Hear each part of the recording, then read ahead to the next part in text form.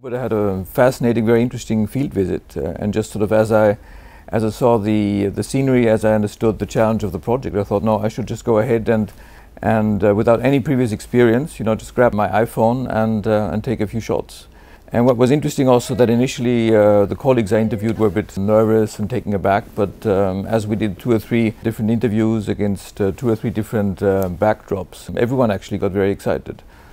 So I hope, and this was the main message, is that I could just show that um, even as a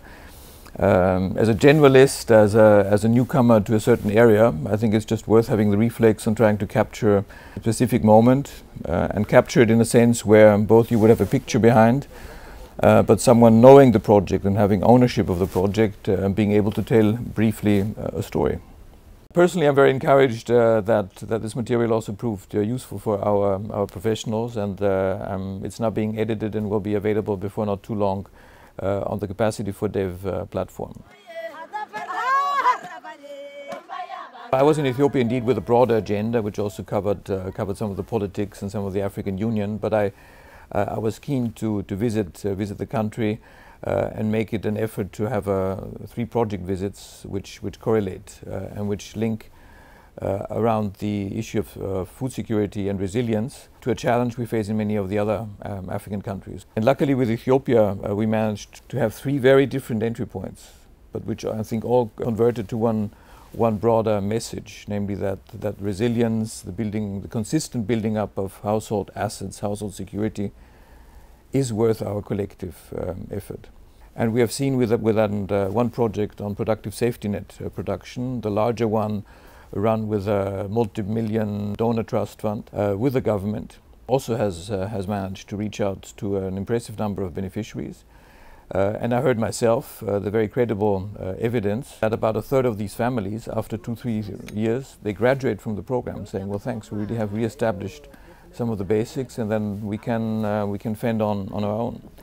Then we managed to um, visit this in a very different part of the country, uh, in Konso in the south. There, the very endearing message, um, I would almost say, is to find in a very remote place uh, in Ethiopia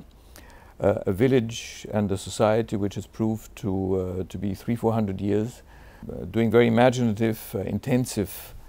uh, productive capacity. Very much the resilient type um, aspect we're looking for in terms of, of, household security, the village community, and also the, uh, the adaptation capacity. Uh, we have heard from that farmer, for instance, how easily he uh, invested first in bananas and then in different sort of trees, just with a, with a minimum of input on trying to have, have extended the uh, irrigative capacity of the area. And endearing also because it's linked to uh, the capacity development. So it's not just sort of us throwing our best knowledge out there uh, for anyone to grab. No, I think the Konso was very much a good reference point that there's good capacity we can still capture even in the remotest place of Africa and then make uh, good and best practice out of that. Uh, NGO Vita, with not too much ado, uh,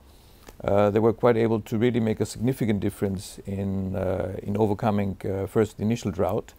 and then also making quite a large area drought resilience, where with only 3,500 euros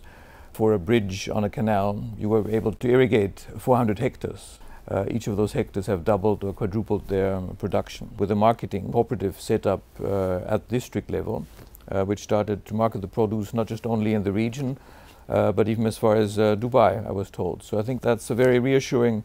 uh, message overall that even some of those, those call for proposals, which have the reputation of coming up some a bit haphazardly,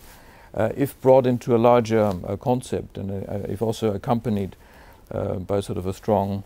strong policy paradigm uh, from us uh, does make a lot of sense and is worth, uh, is worth the effort, yes.